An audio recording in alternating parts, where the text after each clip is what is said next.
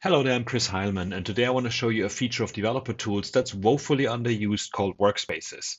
It's not new, you probably heard of it, and if you haven't and you haven't used it yet, here is what it does. Now, here's a project that I have for myself. I have my VS Code, I got my browser, and I got my project on a folder on a hard drive.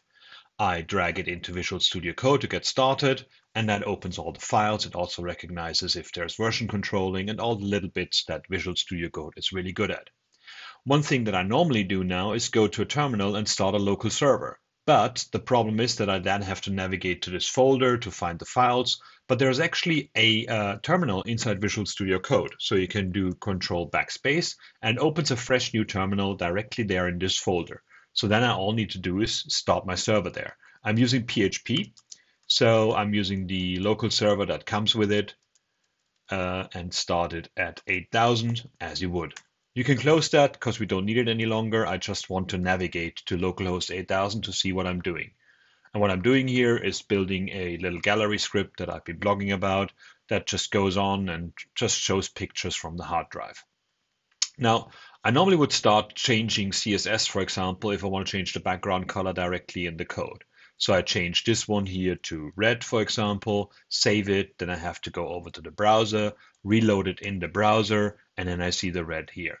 I can go back again and change it to black again because red is a bit brutal and I load it there.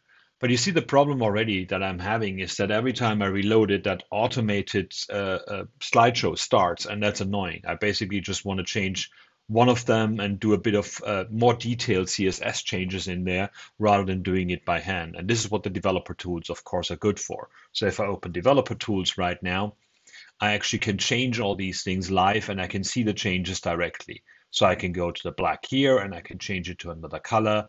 Again, let's do a darker blue or something. That actually looks quite nice. And then we have that change in here. But the change is not persistent. It basically means I'm just changed it for this one. Would I reload the page right now or cause any error and reload it? All these things are gone again. This is not a problem if it's just one of those, but what if I do more right now? I inspect this one here and I want to change, for example, the typography of it. So I want to change the font size to something more like 1.7 AM. I put a line height in there that I didn't have before. And these are all changes that are now in the CSS, but they're not in my CSS. They're not persistent. If I reload the page, it's gone right now.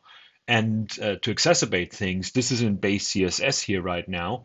And this change, if we, if we try that one again, is actually in slideshow.css. So I've got two files to copy and paste all the changes that I've done in the developer tools over. And that's something that never really worked out for me.